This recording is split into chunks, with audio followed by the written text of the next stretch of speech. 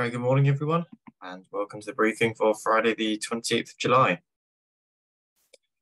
So the unsettled weather continues. I've got the midday chart on here, and it's uh, just showing this weakening cold front over the top of us. Um, isobars becoming a little bit closer together as this low pressure system gets closer. Uh, going ahead to midnight tonight, we see actually that uh, weakening cold front appears to have not really moved at all. So I'm hoping it's going to be a pretty weak feature and um, not really bring with it too much rain. Um, but we'll see how we get on. Looking ahead to tomorrow, um, potentially something to be had in the afternoon after this um, front goes through. Uh, otherwise, unsettled. And further ahead, um, picture changing a little bit, but still unsettled with various low pressure systems in the Atlantic and frontal activity.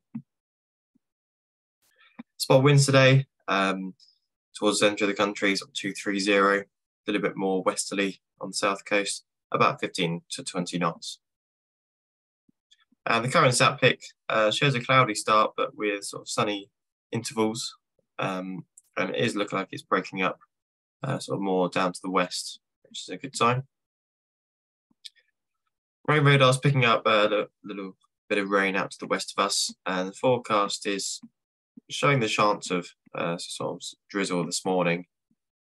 Uh, but going ahead, looks like it's drying out this afternoon with potential of a shower um, sort of around midday. And then further ahead into the afternoon, some scattered showers around, uh, but it appears they're mostly north of Lasham. So hopefully we should be okay there.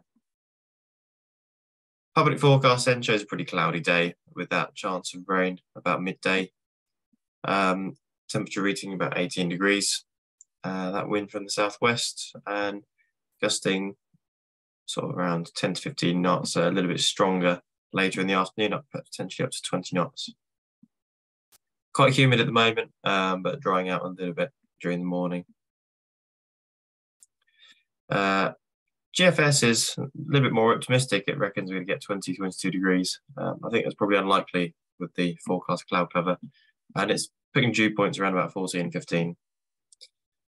And that's current view outside, a bit more broken up than we had yesterday. Um, at the moment, cloud looks a little bit on the low side, but hopefully that's going to be breaking up and raising over the next few hours. Current temperature 16 degrees with dew point set at 13 and a half. And uh, Farnborough's last report half an hour ago, scattered clouds at 1200 feet, which is 1,000 feet here. Um, and the forecast, a little bit of everything. Uh, they're hoping it's going to go to 2,000 feet. Um, but they put a tempo in here that's early in the morning, uh, and another one that's early in the morning. So the only one that's actually affecting us is 2,000 feet, which hopefully come true. Odiham again half an hour ago shows broken clouds at 900 feet, which is closer to about 700 feet above Lasham. Uh, and their forecast, they've got a prob 40 for up to 1 p.m. of clouds at 800 feet. Uh, and that's pretty much it. They've also put a, a prob 30 of broken clouds at two and a half. So they're covering themselves there, but I think on the whole it should be okay by the time we get out there. So your potential flight distance for the day is not a lot in the Lasham area, better if we're up to the north. Um, looking at thermals for about midday onwards, it's showing the potential for some convection up to 3,000 feet, uh, but with overdevelopment and Lasham really on the edge of a sort of area where there isn't much at all. So there may be something to be had there. Uh, looking at the site forecast, yeah, we see some thermals from about midday onwards, um, potentially best at about three o'clock, uh, up to about two and a half to three thousand feet in the afternoon.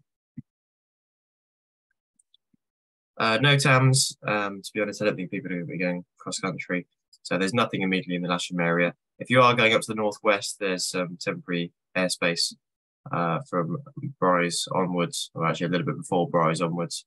Uh, but there's no point going into that because I don't think it's really going to affect anyone. Um, and that's pretty much that. So operationally, with that southwesterly wind, um, we're set up on 2-3. Launch point in the fairly normal position. And winch down here shouldn't need to be offset too far. And aerotow from the other side of the runway as normal. Uh, haven't been notified of any jet movement, so it should be a reasonably straightforward day. Uh, I'll see you out there. Bye for now.